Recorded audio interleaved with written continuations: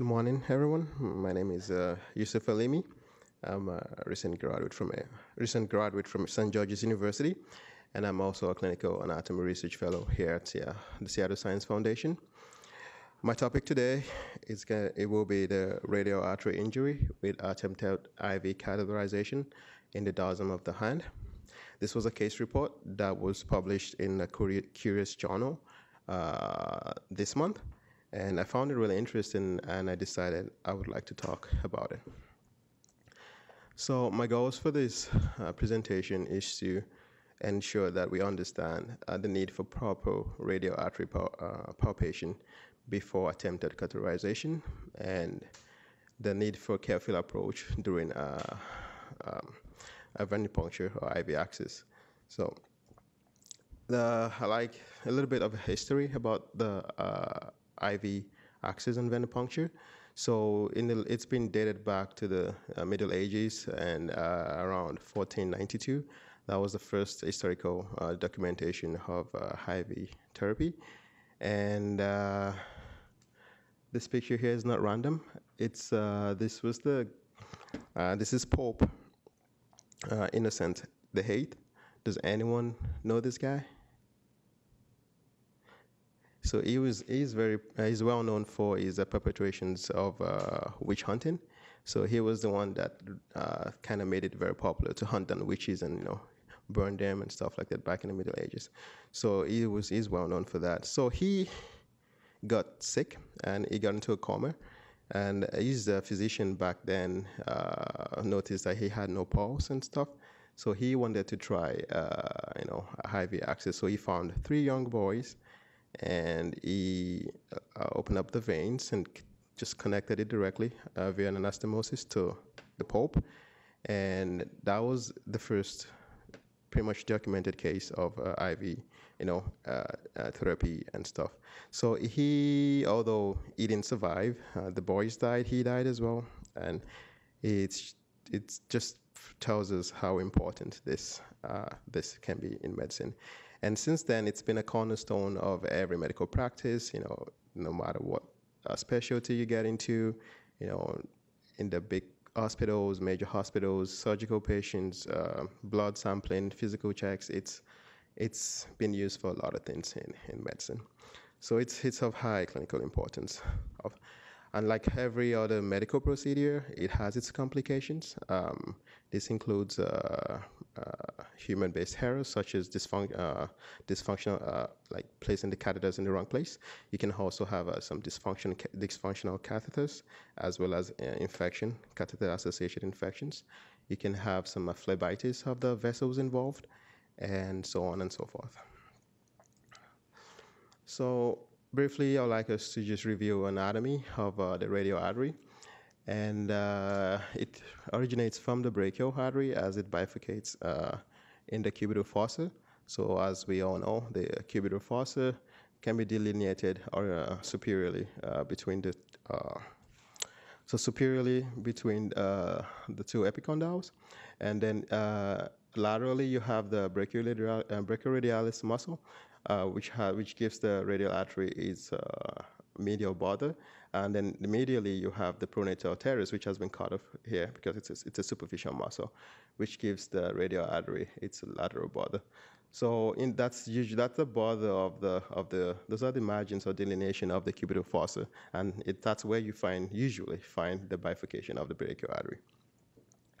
And the radial artery, as you can see right there, uh, descends in the forearm, takes a lateral approach, and it goes all the way down into the anatomical snuff box, where it goes into uh, pierces the head of the first uh, dorsal interosseous muscle, goes into the hand and uh, gives up a, a, a superior uh, palmar branch where it anastomosis with the ulnar artery. So that's just the cause of the radial artery as, as, as it descends in the in the forearm. I like us to pay attention to this picture right here. So right here, usually when you're having uh, when you're trying to get IV access of venipuncture, you probably you know trying to get one of these superficial veins of the hand. So you have the basilic veins right here, you have the cephalic veins right here, and if you pay attention to this cluster, little cluster right here, you can see where you have the, the radial artery and the uh, radial nerve, those tend to go deeper uh, to the cephalic artery, a cephalic vein, sorry. So when you're trying to uh, get an IV access and probably you're around, you, you can find any other veins and you're around the anatomical snuff box, you want to make sure that usually, usually the, the radial artery is deeper compared uh, to the uh, to the cephalic veins. But you know, there have been some reports in the literature of anatomical variants where the uh, radial artery tends to be more superficial and it's superficial to the uh, extensor pollicis, uh, extensor pollicis longus as, uh, as well as the abductor longus abductor pollicis, sorry. So usually it's not that way. That's that's not the normal variant, but it tends to be. It can be, and that's why I want to talk about this because if you just go in blindly without palpating for the radial artery, you think, oh, it's it's just a vein. There can be some complications, and I'm going to talk about some of those. So.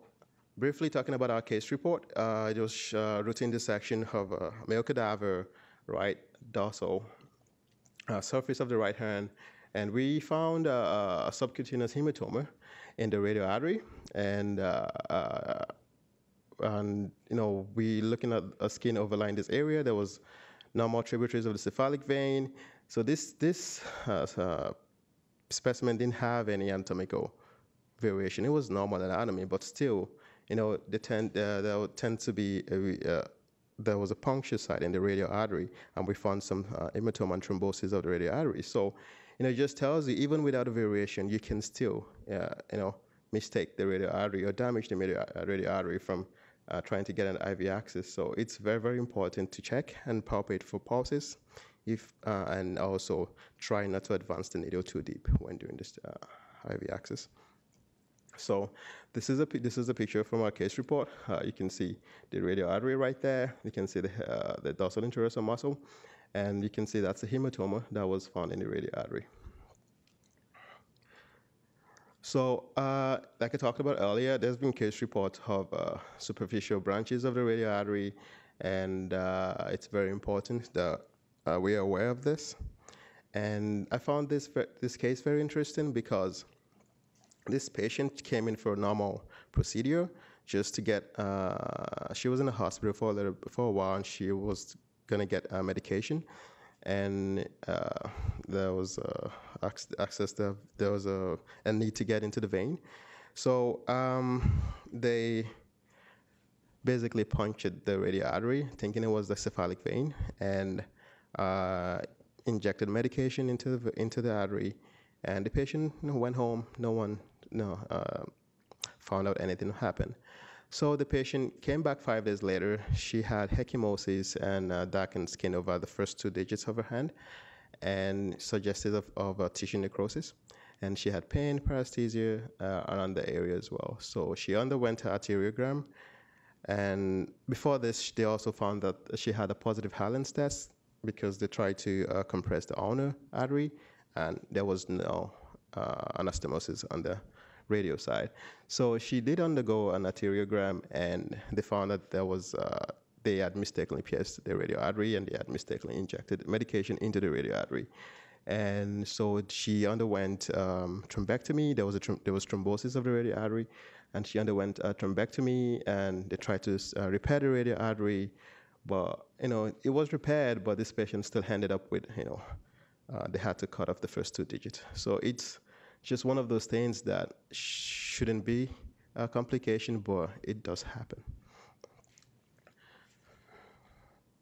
So my conclusion from this is just to ensure that we all understand that there can be a variation in the anatomy of this of the radial artery when it comes to the, the dorsum of the hand, and we should ensure that we uh, carefully observe, palpate for the radial artery pulse, and try not to advance the needle too deep uh, when performing these procedures. And here's my clinical appeal for this case. And uh, I'd like to thank everyone. Thank you very much.